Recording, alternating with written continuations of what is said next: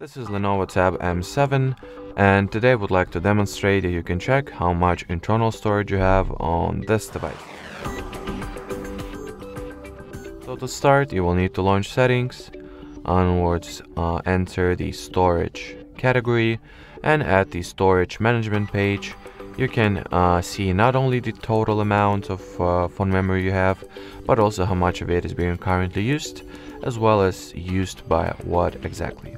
So in my case, uh, well, to sum up, in my case, I have the total amount of storage of 32 gigabytes, and currently I'm using only 8 gigabytes of it. Thus, I have uh, my storage is occupied by 25%. So, uh, that will be it for this video. Thanks for watching and bye bye.